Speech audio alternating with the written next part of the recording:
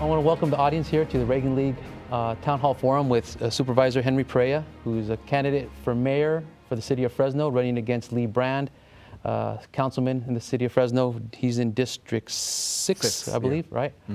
Um, and like I mentioned, Henry is a city supervisor, former city council member. Uh, Henry, welcome. Thank you for, for accepting our invitation Well, for this forum. thank you for having me. Yeah. Um, this forum is a little different than the forum we held uh, several months ago. Uh, that was a debate between the mayoral candidates uh, here downtown as well at Bitwise. This one here is a more intimate setting where we want uh, the audience members to participate and to ask a few questions directly to the candidate. Sure. Um, there's no off-limit questions. Let's just keep it classy. and um, uh, audience members are welcome to raise their hand to follow up uh, with questions, and I'll also have some follow-up questions as well. Um, but let me give you a couple minutes, Henry, uh, or Supervisor Perea, to say a couple words, and then we're going to start off with our first question. Great. Okay. Well, first, uh, thanks to the Reagan League and to all the folks that are here today to, to listen to what I have to say and ask questions. I'm, I'm happy to be here. Uh, I mean no disrespect by the way I'm dressed today. I, I, am usually in a suit, but I was out knocking on doors today, and uh, a lot of the police officers and firefighters are with me this afternoon. So we left the precincts, and, and here we are. Because I mean, it's important that you hear what I, you know, what we have to say and what our vision is for Fresno. And, and having been born and raised in Fresno, I think there's a lot of good things that are happening in this city, but there's a lot, of, lot of things that have to change, and I think we can move the city forward. So the premise of our campaign is it's about contrasting leadership styles. You know what I have done in my political life as well as my uh, my professional life in human resources to show that I have established leadership positions and how that going into the future can change what I believe is the next level of Fresno, you know, behaving as the fifth largest city in the state of California and being a regional leader. You know, regional leader on air quality, on, on jobs. Uh, water is a major issue, and Temperance Flat Dam is something that I've been working on for the past two years, and we're going to make that dam happen. So securing our water supply is going to be big, not just for Fresno, but for Fresno County. So a lot of big issues. Uh, public safety is huge. Uh, uh, crime is creeping up again, so it's about keeping this community safe and our kids safe in their schools. So that's the messaging, uh, and we're talking in our debates about how we are different than Lee Brand and how we have led in the past and how we're going to lead in the future. Great. Thank you very much for the, your opening comments. I want to have the first question from Juan Esparza, who is with Vida en el Valle, uh, a Fresno Bee publication. Okay. Uh, Yes, thank you. Uh, My first question is, much has been said about the quality of life in Fresno. Uh, In your mind, what's the single biggest, biggest contributor to quality of life here in Fresno, and how would you as mayor work on, on making quality of life better for Fresnans?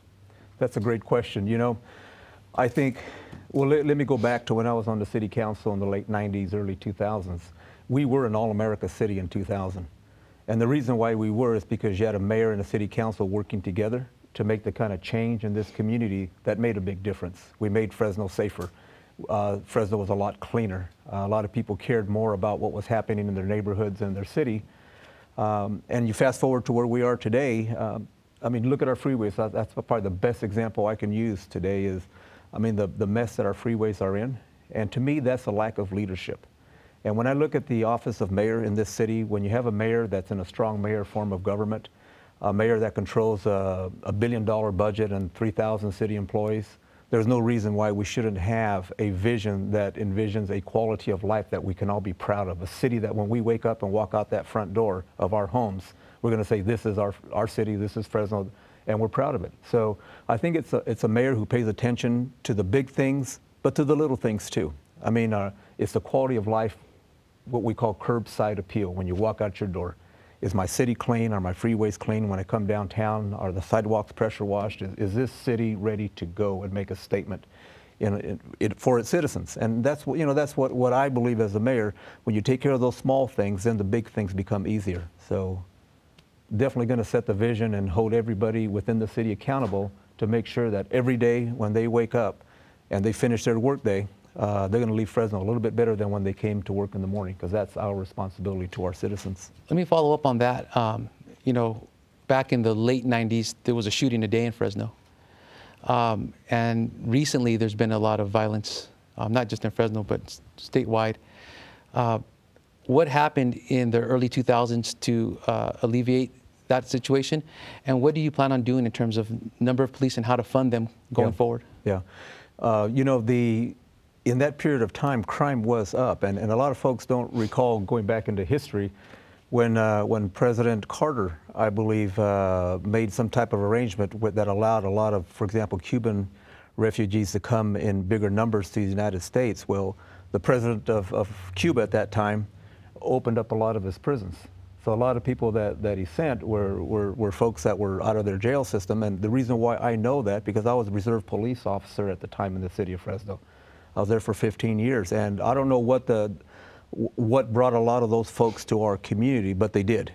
And there was a lot of intense, heavy-duty crime in this city. And um, at the time, I, I, think what, what started happening is there was a shift in, in more law enforcement, public safety in this community because we had to keep the community safe. So I know our direction uh, as officers were it was high impact.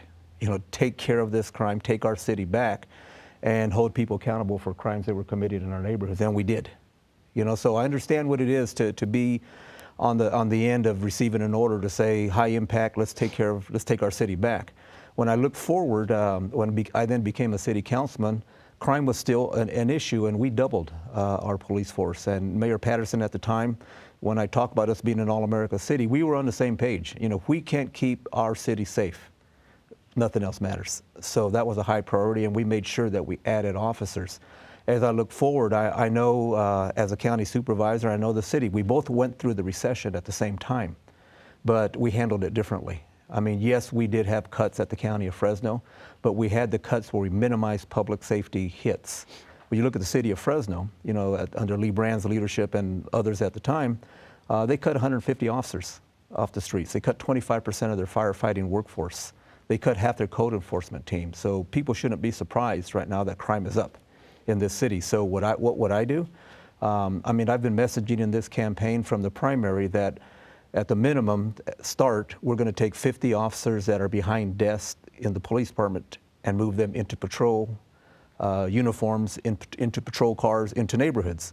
And to his credit, because uh, Chief Dyer and I worked patrol way back in the day, so we uh, were more than we were, were professionally known to each other, but we're friends too. And uh, to his credit, he has moved already most of those officers from behind desks. Not saying that they didn't have important functions, but he's moved them into patrol cars because as a mayor, you have to set the vision. You have to say what the priority is. And in my mind, the priority is providing more officers into the streets. So that's the first uh, leg of it. And there's not a lot of money to hire a lot more officers, but we will hire some.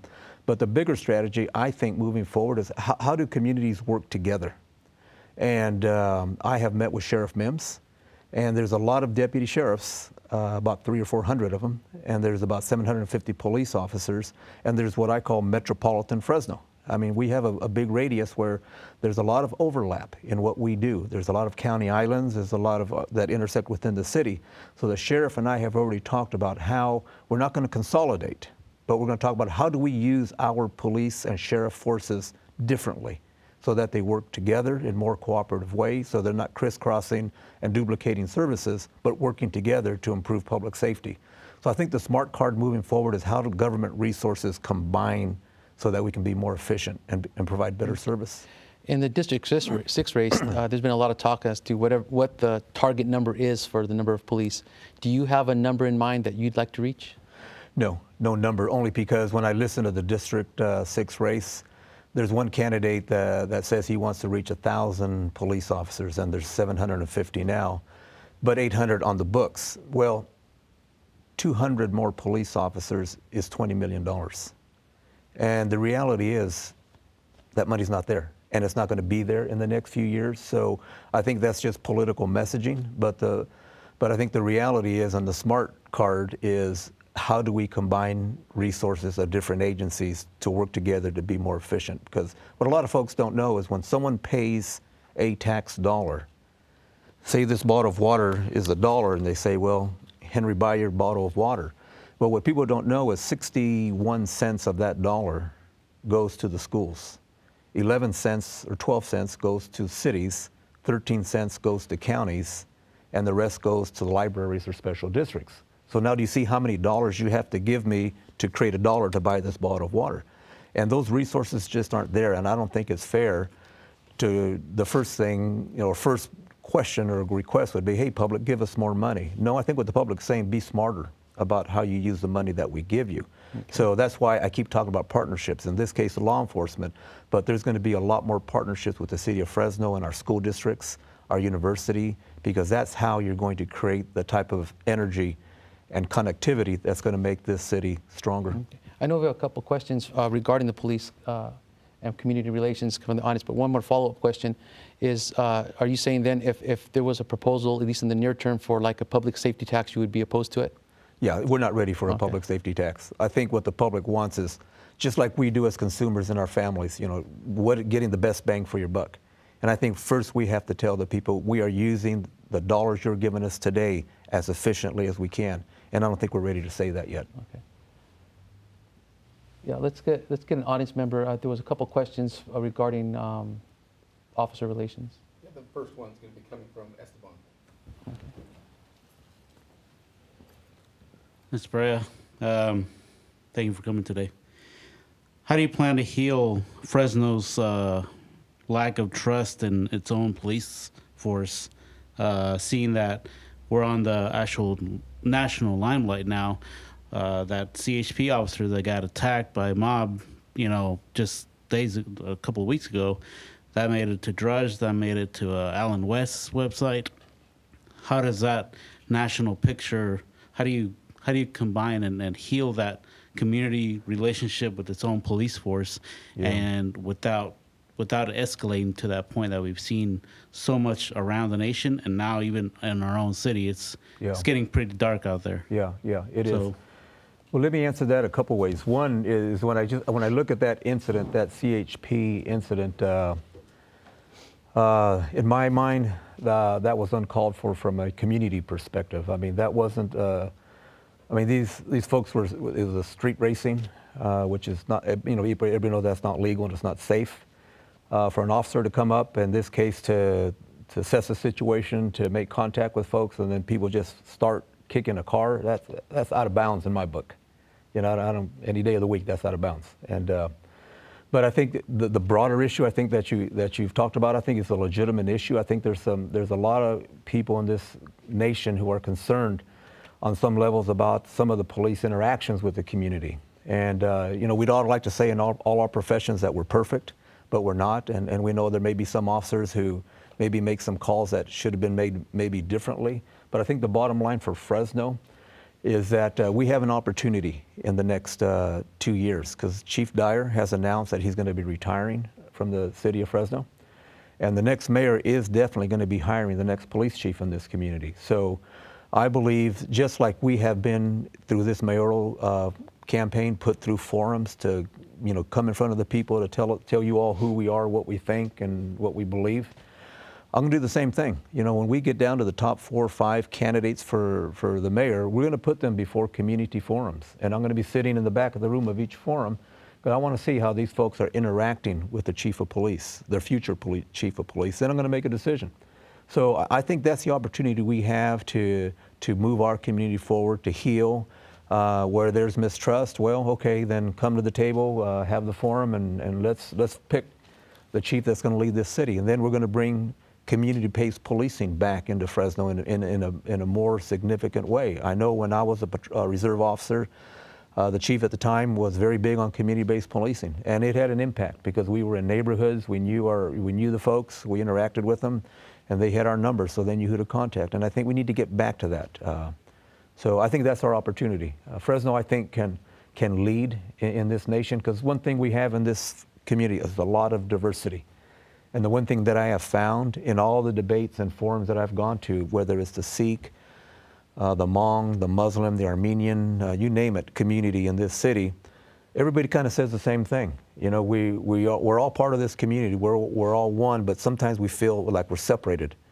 So what they're looking for is a leader that's going to bring people together. And I think once we bring people together, that increases understanding in this world. Uh, it really does. And I don't see why Fresno can't be the model for, for this nation. And I think we will.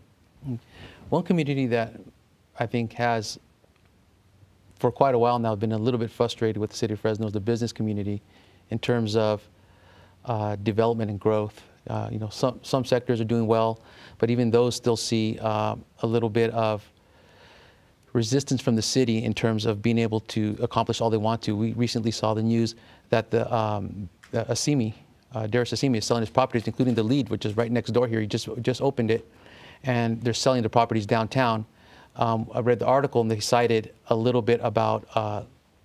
Uh, it, kind of alluded to looking for greener pastures where things might be a little bit easier to operate. Yeah. I think one of our audience members had a question regarding permits. Uh, we can have them follow up with that. But what is your general take on how does Fresno ease the burden of bureaucracy Yeah. so that businesses can start and flourish? Yeah. Well, I mean, there's no question that, that Fresno unfortunately does have a, a reputation for not being business friendly. I mean, I was just talking to a, a an individual who owns a major distributorship here in Fresno County, and uh, he's been for the last four months trying to get a permit from the city of Fresno to pave a uh, parking lot and move a fence, a six-foot fence, like 10 feet. And when we were meeting, we talked. He goes, "Why? Why does it take four months. He goes, I'm just moving the lot from here to here, just right next to it. So, I mean, I made a phone call for him that day, and by the next day, he had the permit. So I was happy for him that we we were able to make that happen, but that's the problem. Why did it take me to make a phone call to, for him to get a permit in a day that he should have got four months ago? So I take that back to leadership and vision. I, I hold a mayor a, accountable for that because the mayor is at the top of that food chain. And if that mayor has a vision, if that mayor says we are going to be business friendly, and if it takes a week to get a permit for to move a wall, or if it takes three months for a permit to build a, a house, it's going to happen. And I think I think where where you create the accountability is if the mayor messages that kind of vision, has the right people in place to get the job done, and then I say, okay, if it, if it takes a week to get this permit and three months to get this one, if you don't perform within that period of time, you're still going to issue the permit, but then all the fees are going to be paid back to the person because we didn't perform. I think once the mayor's office every month start getting back that kind of report saying, hey, we had to give back $10,000 Mm-hmm. because we missed the deadline, I can guarantee you there's going to be a different discussion between me and that department head and that department head going down the food chain. And I think that's how you start holding people accountable. Set the standards, uh, be reasonable in your standards, uh, make sure that the business community understands what you're asking for and that they're doing their part so that they're coming in with complete applications. But once they do, then we get the job done. And I think that's what people want. Business needs predictability because time is money for them. Do you think there's a place for privatization in the planning department? You know, there may be some elements of it uh, where we allow uh, local business, and it's maybe not so much privatization as much as one person said, you can go to other states where they allow the private sector to do their own permit processing up to a certain point. He goes, why don't we do that in Fresno? And I've checked into it, and it works well. You know, because you know the immediate the immediate uh, response sometimes from a city hall would be, well, you know, we don't know if they're going to do the grading correct. Well, people are in there for business, and they're not going to cut corners. And at some point, the city will engage in the final inspections.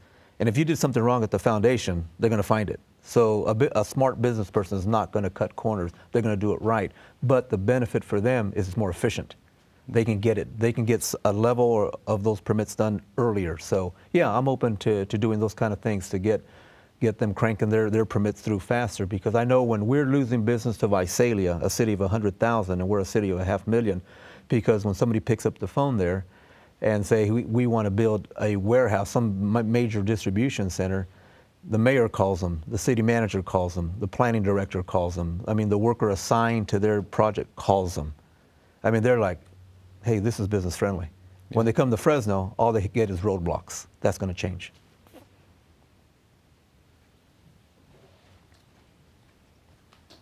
Oh, Mr. Perea, thanks for coming.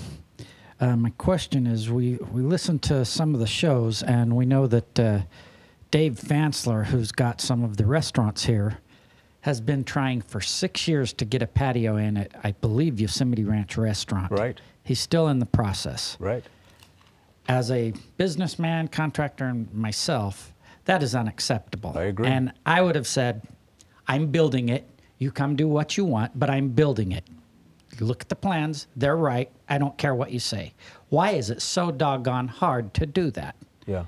Well, you know, um, and, and I know Dave, and uh, and I'm aware of his, of his issue, and uh, yeah, I mean, I, I mean, I, no reasonable person can sit here and answer that question for you because there's absolutely no reason that he should still be waiting to, to expand that, that patio. Um, and, and I- just take it back to my previous answer. I mean, that tells me there's a leader that's not paying attention and a leader who's not holding people accountable, a leader who has not picked the right people, you know, to get the job done. And I don't blame the worker at the counter. You know, I really don't. Um, I blame leadership and vision. And, and I think once we get uh, the right people in place and start setting the standards, and I mean, I'll tell you what, day one mayor, if Dave called me up and said, I haven't, I don't have my permits, uh, haven't had them for six years, I guarantee you, the planning director would be in my office that day and explain to me why it took so long and what's it going to take to make it happen. So that, I mean, that's just to me how simple it is. Now, You need somebody who's paying attention and get the job done. the way Mayor Swearengin attacked the problem was to have not one but two blue ribbon commissions. Right? are are you planning to have group studies of this or just take action? Yeah, yeah. Uh, I mean, if you see, if you know my background, I'm not a let, let's form a committee kind of guy. You know, there's too many committees at City Hall. It's this is not rocket science. It, it's just understanding the issue, having the right people in place, having the right vision to direct the people, and putting performance standards on what you want to get done and get it done. Yeah. I mean, I look at the the slumlord task force that's going on right now. I mean, they're tripping over each other. You know, it's like this is not hard. Get it done. One question: The slumlords that I'm going to have uh, uh, Juan Esparza give you the next question. Uh, I've heard different talk from different uh, people in city council of how to attack this. Uh, Mayor Swearengin um, really hasn't taken that much action on it. Uh, Steve Brandau wants, to, who's the city council under Steve Brandau, he wants to uh, go after the, the worst offenders. Um, Slums. a slumlord, Yeah. yeah. And I, I, think that's kind of what you're proposing to do. Uh, there's a there's a proposal out there to basically uh, have uh, landlords pay for inspections uh, for citywide for every unit. Are you in favor of that, or are you or what's your exact solution? Yeah, I- think the, the current Blue Ribbon Task Force on slumlords is looking at a, a mandatory inspection program of the 80 or 90,000 apartments that exist in the city of Fresno right now. I, I think that's ridiculous, number mm. one. I, I would I would say probably 80, if not 90% of the housing stock, apartment housing stock is fine in this city. So for a city to spend its resources going out and, and inspecting brand new apartments makes no sense at all. I think what, what the city has to do and what I support is a mandatory inspection program of what I call the worst of the worst slumlords. I call them the dirty dozen. You know, we know uh, we know there's more, but visually we- we're creating this this image of there are some really bad offenders in this community, and we're going to go after them. And um, but it's going to be just them, not not the entire program. Because even if you double your code enforcement team, I think you'd be wasting your time going up north or northeast inspecting apartments every day when we know who the offenders are and where they're at. So you go after them, because there's two things. You know, if people want to be in the business of having apartments or renting homes, that's great. I support that. But you have a responsibility to the people that live in those units, and you have a responsibility to the neighborhood. Because if you have a slum in a neighborhood and, and there's a middle class group of folks living in there every day, going to work, coming home, trying to take care of their property, but there's one or two slums in their neighborhood, that's what brings the neighborhood down. And then people get frustrated and they leave. And that's where your blight mm-hmm. cycle comes. So I want to end that blight flight. You know, we're going to hold people accountable. You want to have rentals, fine, but take care of them. Uh, be responsible to your tenants and to your neighborhood. And when you and when those folks rent a unit, I don't need a blue ribbon commission to tell me. Just use the housing authority model. You know, the, the inspection program they have for Section 8 right now is a great program. And, you know, they have all the checklists on what an apartment needs to look like before you rent it out. We're going to put that into the city of Fresno because if you remember Summerset, which is the poster child right now for what happened with slums in Fresno, the best units that in that whole complex were the housing authority units because they were inspected. So don't have to reinvent the wheel, it's already there. It's just you have to have people that are committed to it and just make it happen. Juan? Uh, Yes, um, uh, let's uh, talk about animal control in the city or the lack of it. Uh, As mayor, what would you do to offer solutions that do work uh, to help lower the kill rate, which is uh, in this area ranks among the highest for Right. you know stray dogs and, and Yeah. stray cats. Uh, proponents of the no kill uh, offer several solutions, which uh, apparently have they don't feel like they've been uh, listened to Yeah. um, they believe that uh, it the problem can be solved by cutting it off at the source. In other words, education, promotion, uh, Spay and neuter. spay and that kind of stuff. Yeah. Uh, what what's our, what are your thoughts on in this area? Well, I mean, that's a, a, a perfect example of an area that I have led on.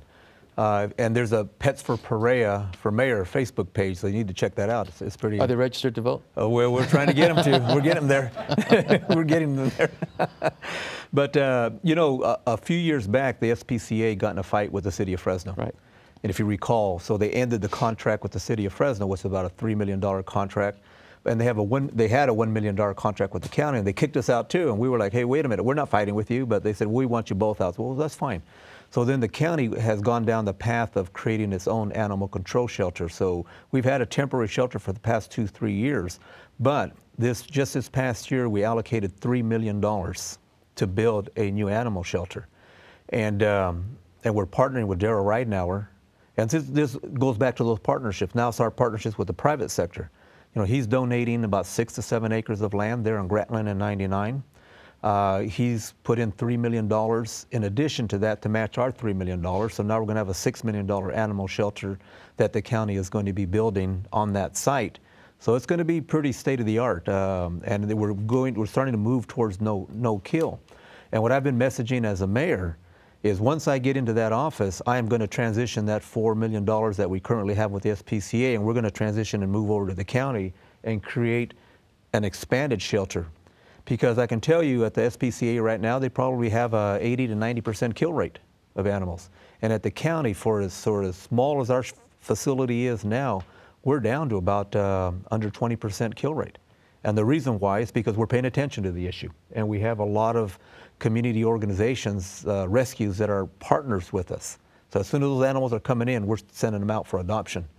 And you know, the, at this point, the animals that we do have to put down are the ones that are just severely, severely injured or, or ill, and there's just nowhere for them to go. But, uh, but if we can get to zero, that's that's what our plan is. But uh, I'll tell you right now, where the county is headed is in the right direction. And when I become the mayor, we're going to combine the both, and we're going to have an amazing facility in, in this community. It's going to take care of our animals, but also really engage in the education because. Um, the question that was asked was correct. I mean, it's, it's a lot of education. You know, don't don't support uh, breeding kennels that are unauthorized. You know, make sure you spay and neuter, uh, and all that goes with it. So, uh, that we're we're on our way, I think, to doing good things to take care of our animals. Okay, I want to switch uh, subjects now, and um, I think we have a question here about high-speed rail. Um, right. Mayor Swearengin has been a huge cheerleader for uh, high-speed rail. Um, I'd say you know, uh, Lee Brand has opposed it, uh, or I'm not sure if he's opposed it, but the Re Republicans on the council have opposed it. Uh, Steve Brandau in particular has really opposed it vehemently and, and vocally. Um, there's the, I, I, think it's more than a claim that there's really not the funding to complete the project at this point. Um, obviously, construction is already happening here in Fresno. Mm -hmm. um, what is do you believe that high-speed rail will be completed? When will it be completed? And how will it benefit Fresno? Yeah. Well, uh, one, a very strong supporter of high-speed rail. Uh, my task for the past six years, along with my other supervisor duties, is to uh, win the competition for the maintenance facility, which a decision will be made, if not by the end of this year, early next, because the bids are now going up for the train set. And part of the the different countries that will be competing to build the train, initial train set, um, have to know where the facility is, location, because they have to build that as part of their bid. So we'll know that. So, I, and I feel confident we're going to get it.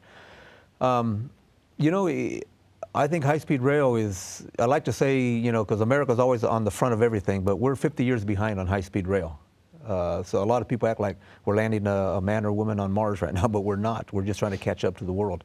But when you look at a system uh, in the San Joaquin Valley that is now going to connect first from Fresno to San Jose in a, in a meaningful way, and, and the first train will be operational by 2025, uh, you're talking about getting from Fresno to San Jose in, in 55 minutes.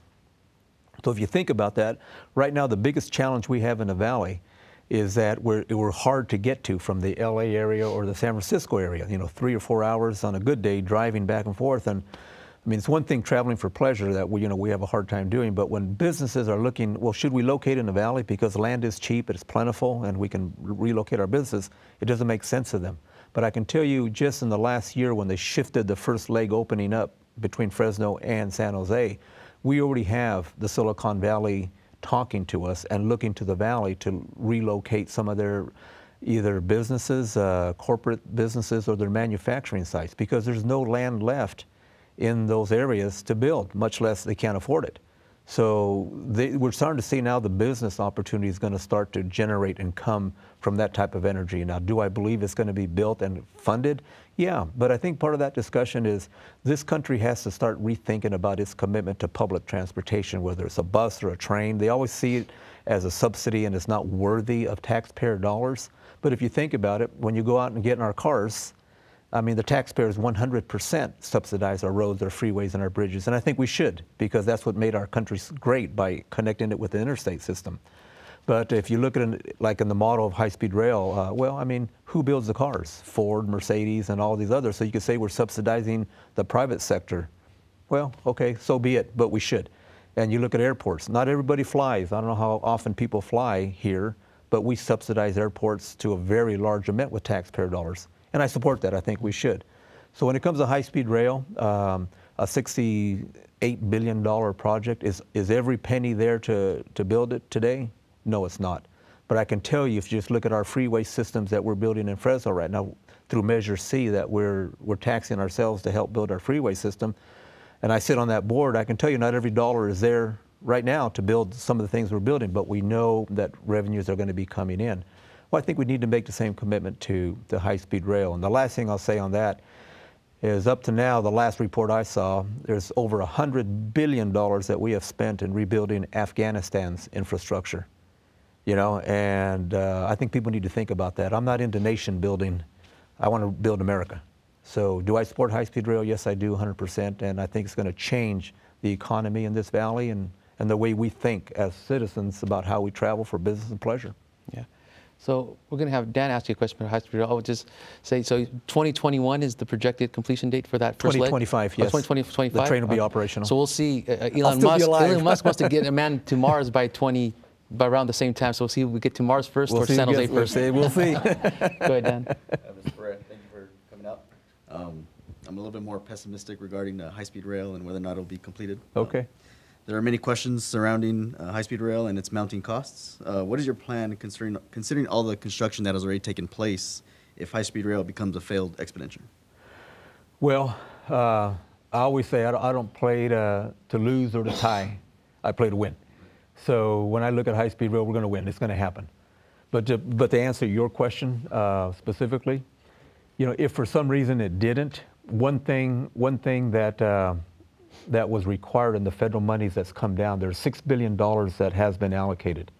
And what they said is that if the worst case scenario, we don't get anything more than that $6 billion, it has to be a functional line. It has to be operational for something. So if, it, if, if the line that we're building right now uh, doesn't go any further than what we first build, it will run the Amtrak system. So in that scenario, uh, I sit on that board too in the valley, Amtrak. And the one challenge we have with Amtrak is that we share the BNSF lines. So we share with, with the freight and transportation. So we take over, we, they give us what they have left. So in the best scenario, in that case, we would have a dedicated line for Amtrak and you'd see a very robust Amtrak system in play because right now, our San Joaquin Valley Amtrak system is the fifth busiest system in the United States. You know, the three busiest are in the northeast, and the one in the, the um, on the shoreline is the fourth, and we're the fifth. There's over a million people that ride Amtrak, so it would be a functional line. It wouldn't just be track sitting there doing nothing. Uh, uh, regarding Amtrak, since you said on the, on the regional board, right? Yeah. Uh, you know, that's a subsidized system, right? Yeah. And you've already explained your, your belief on, or your perspective on subsidies. But the commissary on Amtrak has been shown to be a big money loser.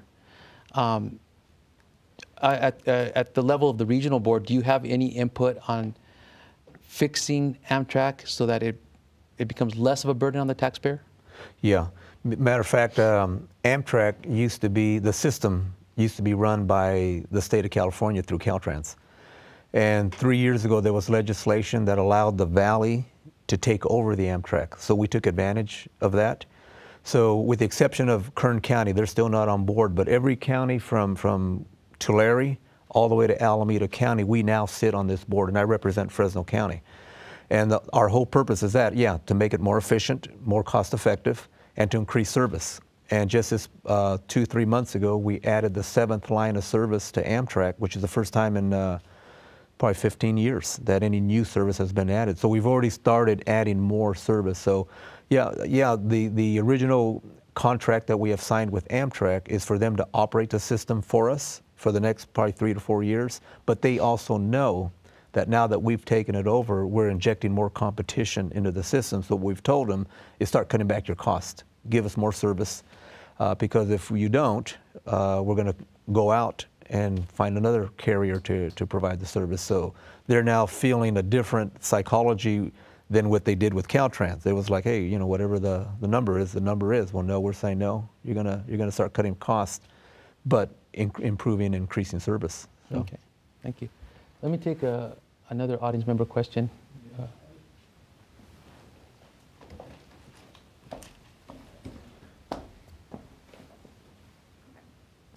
Uh, Hello. Hi.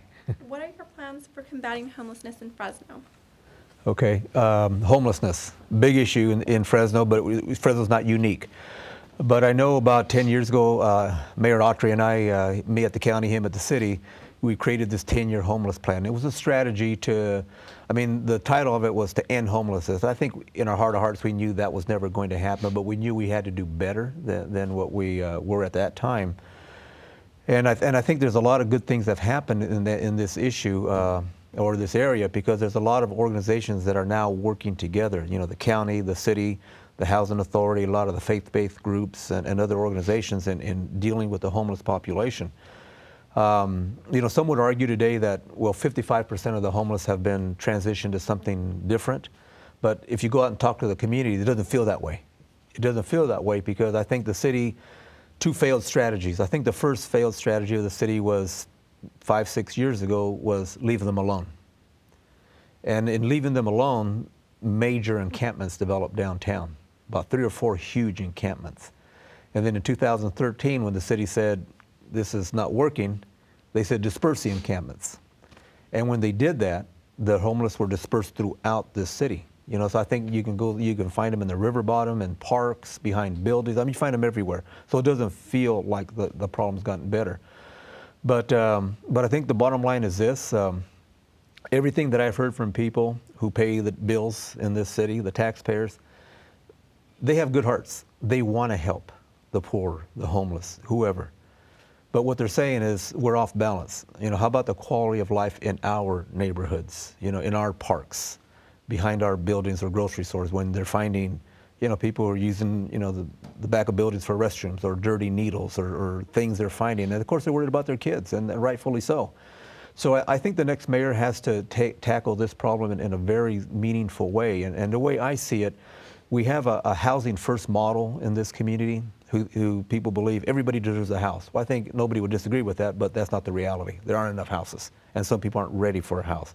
And then there's the people, for example, like the rescue mission, who will say, well, if you come through my door, you're not bringing your drugs, you're not bringing your needles, uh, you're going to go through counseling, and, and you're going to go through some type of program to stay here and have a meal. And people say, well, you know, I don't want that, and I'm not either ready for a house, or there's no house for me. So the gap is, then they go to the parks, they go to the behind buildings. So I believe we need emergency shelters in the city. That's the remaining gap where it's not a permanent housing, obviously, but it's somewhere someone can go at night and be safe. And we have our caseworkers there that can start getting them ready to transition for another service. And uh, I think once we do that, and I think then the city has to take holding hands with a lot of people because it's going to be tough. We're going to start having to move people off the streets every night. And I think that's going to be a tough lift. But I think when we can look Fresno in the eye and say, we have a housing model, we have what the rescue mission does, we have emergency shelters, but it's not acceptable anymore for people living behind buildings or parks or and the river bottom, uh, we're going to start enforcing. And I think we just have to find a different way for people to, to move off streets. And I know the, the mayor of Albuquerque, New Mexico has a great model of, uh, you know, for the guys that are on the corners, street corners, you know, work for food. Well, I'm going to use that program in Fresno. Uh, you know, gonna, every morning we're going to send out city crews and say, work for food, jump in the truck. You know, we're going to give you five hours of, of work today, minimum wage. We're going to feed you. We're going to, you know, we're going to give you services, start transitioning you to find something better. Um, and if they jump on board and they, we get them in the programs, that's great. But if they say, no, it's okay, I'll stay here on this corner uh, and ask for money, we're going to say, well, the next person that visits them is going to be moving them off that corner because we owe that quality of life to our people too in Fresno. You know, people want a safe, clean, presentable city. And I think we have to find that balance of maintaining people's dignity, helping people that need help, respecting them, but by the same token, respecting the people too that live in this city. Two follow-up questions of that. Maybe if you can give us like a 30-second answer to each, so we can move on to another audience question.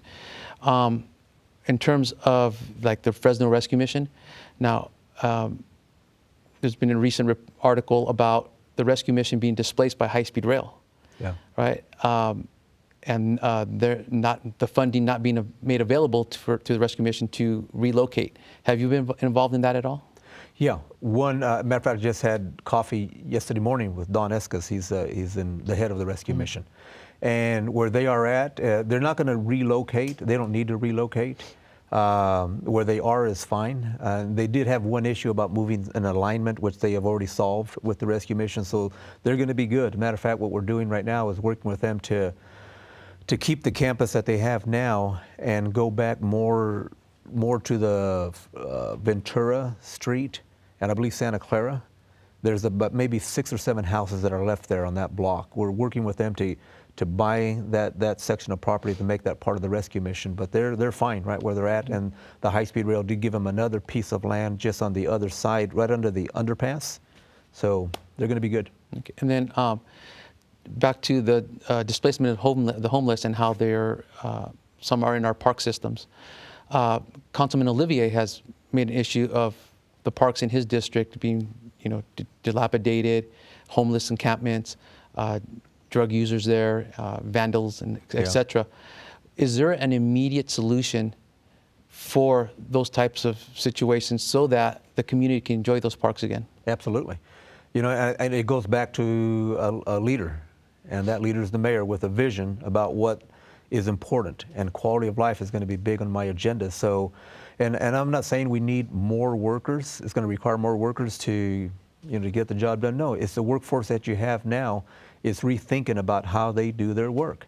I mean, you know, I grew up in a, in a middle class neighborhood. We weren't the richest or the poorest in, on the block, but my dad would always say, just like I'm sure a lot of people's parents, your parents would say, is just because you're poor doesn't mean you can't have the nicest house on the block, you know?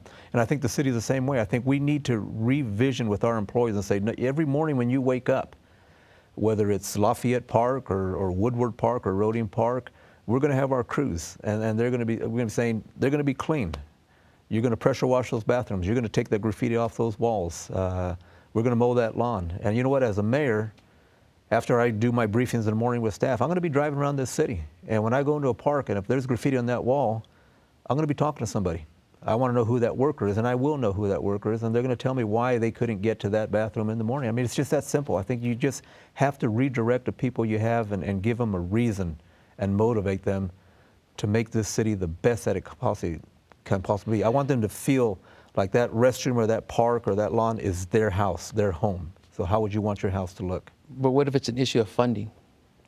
Well, I mean, th- then it's always it's all about priorities. You know, obviously, right? Uh, I mean, you have a billion dollar budget, and you have to talk about what are what is the most important things for you in that in that area. Well, I can tell you, parks parks have been underfunded for the past five or six years. I think we need more funding in our parks, so we're going to have to shift funding within the city to those parks. But I don't think it's going to be a major shift.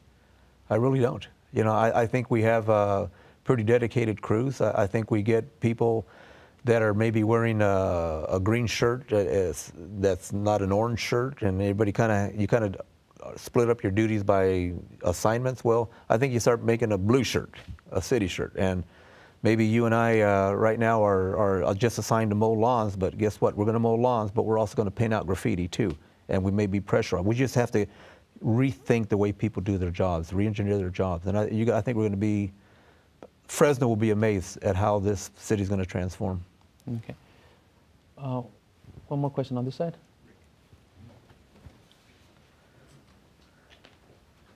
Mr. Perea. Yes, sir. I have kind of a trick question. I actually have a comment, a question, and then a suggestion if you would suffer my question. Um, with all due respect, Chief Dyer said he was going to retire in 2011. We've all been hearing that since 2011. And one of the things that we really need is confidence in law enforcement and the ability for the community to be able to um, communicate. Um, the question I do have for you, the trick question, how would you heal this community through forgiveness as opposed to high impact police and code enforcement? Well, um, that's a great question. I mean, I, I think it's, it's a little bit of everything. I mean, no, no question that there, there are situations and times where you have to come in with a heavy hand depending on what you're dealing with. But I think nine times out of 10, I think when, when you understand, are more understanding with a person and you deal, you come from a position of compassion, you can handle probably 90% of the problems. And I, and, I, and I guess the best example I'll give you is when I was just out of the academy and I was starting to work on patrol, uh, like everything else, you train. I mean, I showed up my first day of work, I had my helmet, I had my nights, I mean, you have everything, right? And I remember my first partner told me, you know, he kind of laughed and he goes, you know what, next time you come out, he goes, leave your helmet home, leave your nightstick at home. All you need is your uniform, your vest, and your gun. You know, that's all you need. And I, and I said, okay. But the one thing I learned from him, which I think reinforced what I already knew, and, and he said, if you can't handle 95% of the things that we are faced with out here by treating people with respect and dignity and, and finding the common grounds, then you don't belong here. And he was right. So, so, so I think it's a combination of things. I mean, you always have to be in a position when you're ready to, to use the force that you need to get something done. I mean, that's just the reality. But I really believe that too. I think 95% of, of the interactions that officers have with, with people in the, out in the community can be handled by, by respect and by having that interaction. Because uh, the one thing I learned is at the end of it, whatever confrontation we were with, at the end you'd ask the person, what would you like me to do? And people don't realize how powerful a statement that is because, I mean, we've been, I mean, I can't tell you how many things we've been to, but at some point people just want to be listened to. They want to be heard. And when you ask, when you give them that power back and say, well, what do you want me to do? A lot of times people just say, I just want somebody to hear me. Can I make a suggestion? Sure. It's probably something that, that initially, whenever I tell you, you'll probably flinch at because I want you to form a committee. Um, it's going to be called Heal the Community, and the HEAL is an acronym for HOPE, um, Education, Acceptance, and Liberty. What we need to do is we need to have real role playing where people in the community will get together and express how they feel and think whenever they are engaged in a situation with law enforcement or code enforcement or any other government agency. And then after you do the role playing, do role reversal. That way, the people that feel oppressed or feel like the police are somehow targeting them can understand the circumstances with which they need to communicate. Whenever I saw the young man first day of school, his video go viral, I thought the officer should have de-escalated that. He should have been able to tell the young man he's going to issue a citation for jaywalking, and then move on with his with, with his job and issue another citation for jaywalking if that was his job, mm-hmm. but not have to risk walking to school one day and looking at a an assault on a peace officer. There has to be training and community involvement that allows us to communicate with each other and allows us to de-escalate. Um, I know that whenever I have law enforcement approach me, I try to treat each in individual circumstances like it's each individual, but there are times when we understand that the, the people need to actually be able to communicate. I think we should set up a committee that is not just faith based, not just law enforcement based, Yeah. but really taps into everybody in the community that's having problems communicating. And, and the officer could actually tell the person, This is what I'm obligated to do. Whenever you turn and, and you start to run or you don't answer my command, then I'm required to do this. And Yeah. that way we don't end up with these viral videos in the city of Fresno. Yeah. Yeah, and don't, and don't get me wrong. I mean, I'm not against committees. I mean, we just kind of talk know about, what you mean. you know, we- Yeah. But no, no, because uh, I mean, I'm going to tell you, I, I'm, I'm not the smartest guy in the world, but I'm not the dumbest either. You know, but what I do know, what, what makes me strong, is when I do talk to people Right. and, and get suggestions. Because a lot of times it, it helps me make better policy. So, You know, I'll be engaging the community in, on many different levels uh, on different issues, but Sure. certainly I understand police and community relations need to improve, and they will. Yeah. I appreciate thanks, that. Thank you. Um, I want to do uh, three more questions, one from Juan and two, uh, Brian here will call, call two more. But I want to ask you one, one question. Uh, it seems to me like the, on, in the city council races, the one, that, the, the one that's really highlighted right now is District 6, replacing Lee Brand. We have Gary Bet- uh, Bredefeld and we have uh, Jeremy Pierce. I know you've been asked the question of who you support for president, you know, uh, and all that, and, and all that. But on, in this race, I'm not going to ask you who you support. I'm going to ask you in a different way: Is does one of those candidates reflect more your point of view and your vision of Fresno than the other, or is there one that you think you might be able to work with better than than the, than the other? Yeah. Well, I won't say it's a. I have a biased answer. Only I'm speaking from experience. You know, when I was on the city council in the late '90s, uh, Gary Bredefeld was on the council. We were both elected at the same time, and and we were part of a team, four new council members that came on board. And I'm not saying we agreed on everything with with Mayor Patterson, but there's a lot of core issues that we did move in the same direction on, public safety, uh, you know, economic development, uh, cleaning up our city. And uh, Gary, you know what I like about Gary, he's the kind of guy. He's a quick study. You know, he's he's not going to make a decision off the cuff. He's going he's going to do his homework. But the also thing, what I like working with him is once he was ready to go and make something happen, he would. So I, I think he served his district well. He served the city well. And I think uh, working with him and other council members and Mayor Patterson, that's why we were in All America City.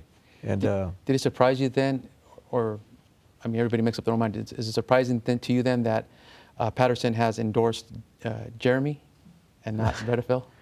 No, no. Uh, I think Mayor Patterson may be another show, you know, but uh, but uh, I think we just see the world differently, and it, uh, I think him and Gary saw the world differently on some issues. Great. Thank you. Well, at least we got an answer. Not, not, not. Uh, you want to, you want to revisit the president question? No, another day. okay. So let's let's get uh, Juan to ask one question, then we'll take a couple more from the audience.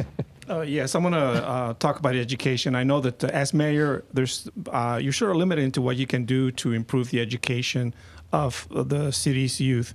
Um, at the same time, there are things that, that a mayor can do.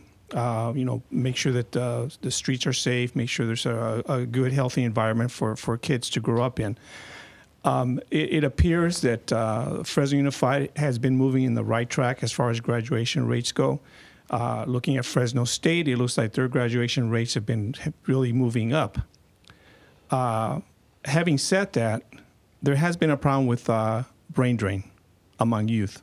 So if if kids are, are graduating from high school and, and college and they don't find a reason to stay here in, in, in Fresno, uh, what can the mayor do to make sure that we hold on to the young people that are needed to you know set the future course for this city? Yeah. You know, that's a great question. And actually, that's one Dr. Castro and I recently had a discussion at the university.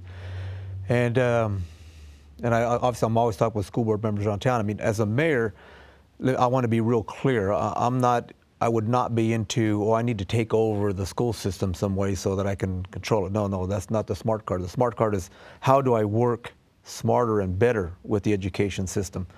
And I know, for example, with uh, President Castro, uh, I worked with him to bring back the School of Planning at Fresno State. And right now, the final letter of approval is sitting on the chancellor's desk. You know, he, he told me, Henry, if you can help me raise a half million dollars of scholarships, uh, I will commit this, the financial resources to create the program.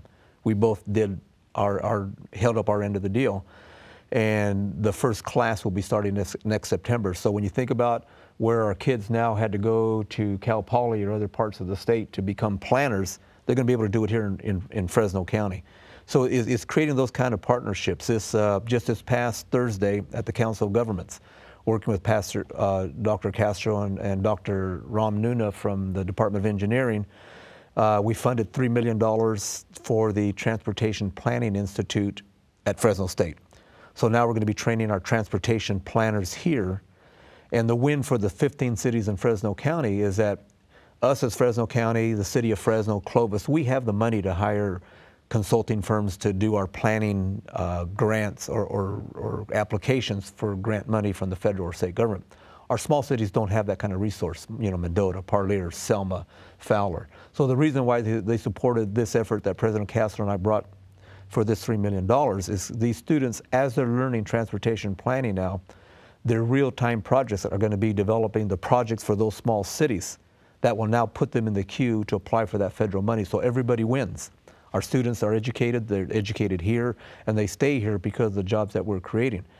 You know, on a, on a broader scale to this question, I mean, other than we need more of these kinds of partnerships, what's going to go in tandem is economic development. I mean, we have to diversify our economic base beyond agriculture and, uh, well, beyond agriculture in Fresno County. It's, it's one of our top industries. It and healthcare are two in main industries, and we need to keep growing healthcare. We need to keep our ag economy, keep it strong, but we have to be bigger than that because in a recession, as we all know, we're still in the last recession, and the Bay Area and LA, they're out of it. It's because they have more jobs. So, as we're educating our workforce, as we're, we're creating more partnerships with our schools, we have to very aggressively start bringing more industry into Fresno County so we have a diversification of our base. So it's all, it's all everything working together, but you need a mayor that's focused that's going to be doing that every day. Let me play devil's advocate on that one. So let's say the high-speed rail, the conduit between here and the Silicon Valley is opened up, right? Uh, would that not possibly create some, uh, uh, or add to the brain drain and an outflow of graduates to the Bay Area and let, but let's say that they use that conduit and stay here, just work in the Bay Area, and bring the, inc- uh, the disposable income back here to Fresno. That would most likely grow the service in, services industries, but not necessarily manufacturing or tech or something like that. Um, do you see that as a potential problem, or you think it wouldn't happen? Yeah, no, not really. I mean, I think we're going to see a little bit of everything. I mean, I think you're going to see people from the uh, from Fresno or, or the Fresno area now being able to be employed in those areas, getting to work by eight and being home by six or so for dinner. I mean, that, that's going to open up the opportunity for people here to not leave, have to leave, but leave and come back, and vice versa. But I think the kind of things we've been hearing um, from the Silicon Valley is, is we can start maybe now moving some of our manufacturing plants here or some of our business offices here because of that connectivity. I mean, I know in, with high-speed rail, just as an example, we, we have sent teams to Spain, to Germany, to China, all over this world to, to study high-speed rail from their education system on down to manufacturing. And I can tell you, just having been in Spain a few months back, you know, our conversation with them was in America, we may, we, at today, we may not have the technology or the skill to build the trains because we never have. But part of the agreement in the Buy and Build America attached to high-speed rail is whichever country we pick to provide the first train set, our engineers, our fabricators are going to be in that country learning how to build these trains because one of the ongoing um, requirements is that as this system expands across this country, uh, they're going to be building those trains here. So now you imagine Fresno County with a maintenance facility. Um, that's also going to have education and training facilities attached to it because Dr. Castro sent his engineers to China to get their education curriculum. Then they're already working on the training education curriculums for the engineers. State Center is working on the curriculums for the manufacturing side of it. So we're starting to build the, the, the network. So if we have manufacturing here, the maintenance facilities here, the education and training, we get the federal designations for testing trains in Fresno County. I mean, if you can just imagine the opportunity we have to transform our Fresno County economy and make it a, a, a high-speed rail hub, shame on us if we don't do it because there's nowhere else in the country this is happening. So this is the opportunity that we have. And uh, I can tell you, when we were in Spain a few months ago, uh, 25 years ago, high-speed rail was not in, in Spain. But at the highest levels of their government, they said this is going to be one of our market niches in Spain. And they dedicated the resources to do it, and now they are. I mean, they have a country that's connected um, with high speed rail, and they are manufacturing and selling their trains and building systems around this world. So it's a big part of their economy, and there's no reason why Fresno County can't transform with high speed rail.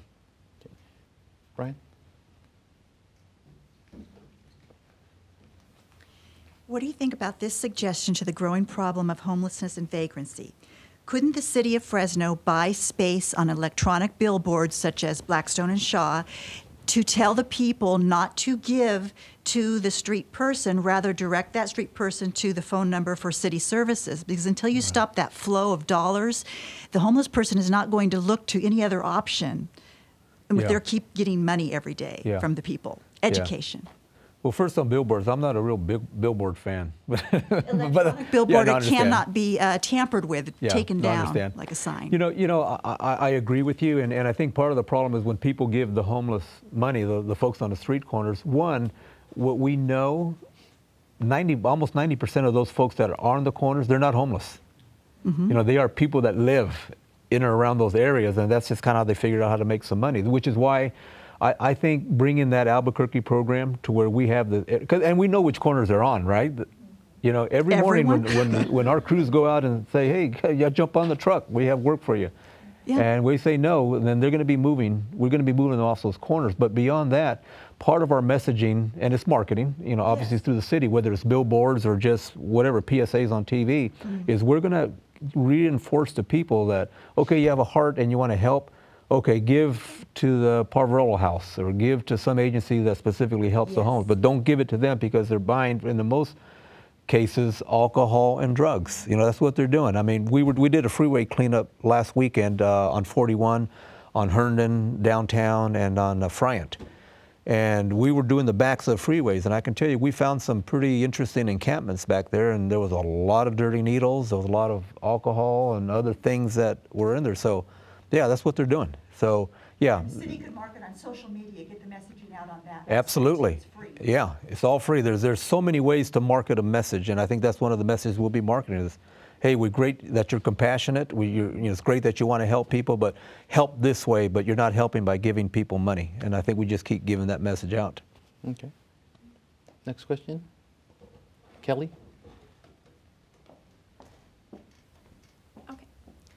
So Mayor Swearengin focused primarily on the beautification of the downtown Fulton area.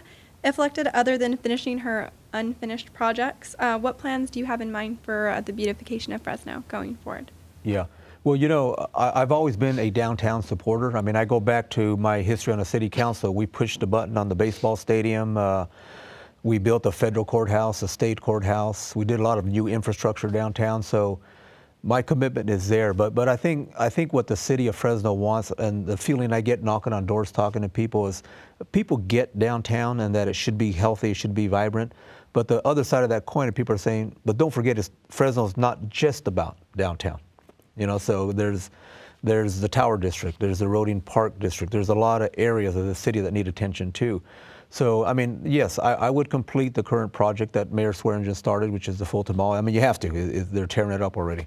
But I think then I think we start looking at how we connect the downtown and that, especially the housing end of it. How do we connect that to the Tower District?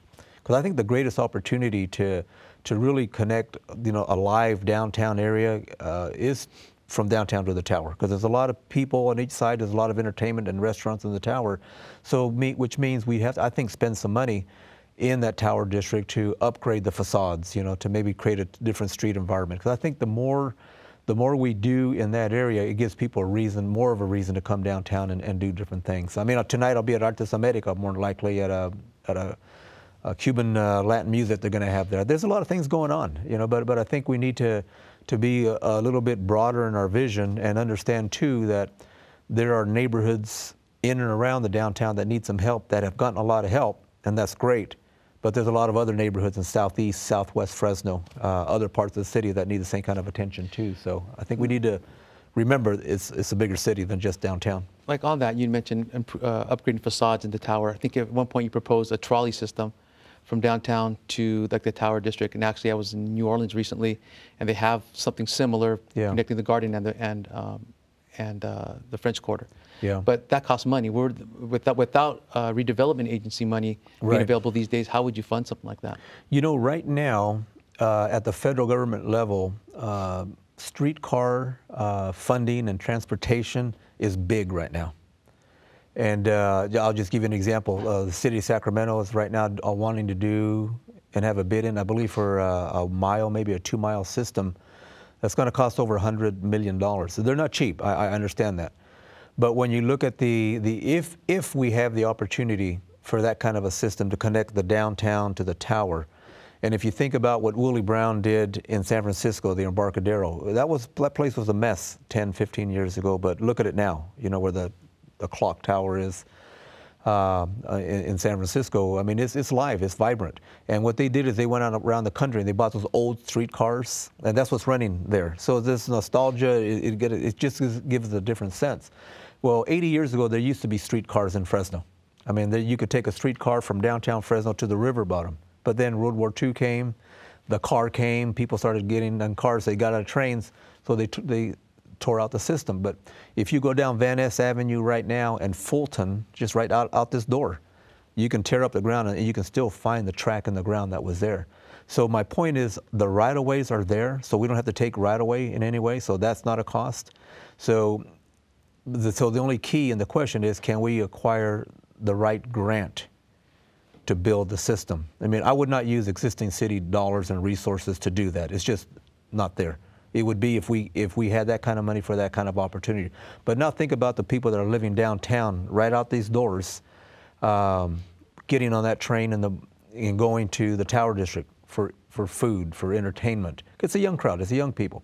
But just as important, in between those two points are a lot of housing, a lot of historic homes from Fresno and just the energy that that will bring and people that'll start revitalizing those neighborhoods making them stronger so it's just that energy you know you start doing positive things everything comes up behind it so i think that's that's an economic engine that can help fresno too Um, quick follow-ups on this. This will be our last topic, but quick, some quick follow-ups. uh, so, BRT, are you a supporter? That's You know- bus, rap, rap- bus rapid, tran- rapid, ah, bus rapid, rapid transit.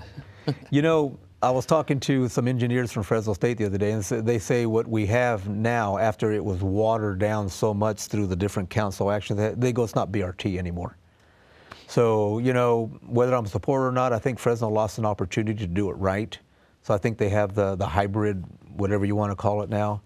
Uh, would I invest more resources in that? Probably not immediately. I think I'd, I'd first let this play itself out, see what actually it does or doesn't do, then have that discussion further down the road. But I think right now we let, we use that as our demonstration model and just see what it does. Then, um, on a similar track, we have the opening of Fulton Mall, like you mentioned. Now it's in process. It's obviously it's going to be finished up.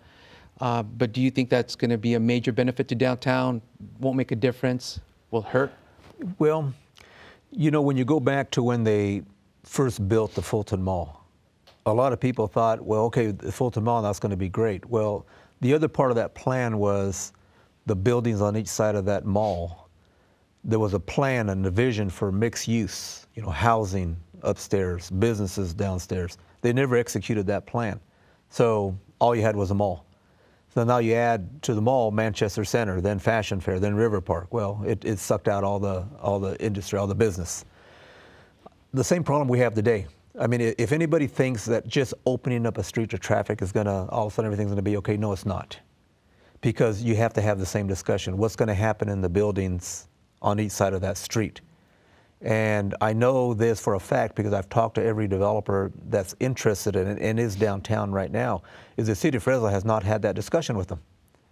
So how can that be? You know, how can you be working on a street for two years and now you're actually building the street and you really haven't sought, sat down the people with the money, the developers, you know, to say, okay, what's the vision? What's the plan? Who goes first? Who do we help? What's what's the funding? So I guess the good news is not fatal. You know, I, I've talked to them already. Uh, I've told them once I get on board, we are going to have that discussion because a street alone is not going to make that place vibrant. You have to have a plan. And I'm going to also connect that plan to Chinatown because I think Chinatown is, is a lost opportunity. But again, it's not fatal. I think we have a lot of folks that are, that are investing in Chinatown.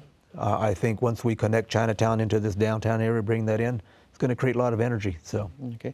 So let me let me end end the discussion today with the hot seat question based on this sub- subject. So we built the ballpark. Uh, we're opening up Fulton Mall. you know, uh, there's these type of infrastructure projects are what I call uh, build it and they will come kind of projects. Yeah. You know, a, a streetcar or uh, improving facades. To this point, it doesn't seem that people are flocking downtown.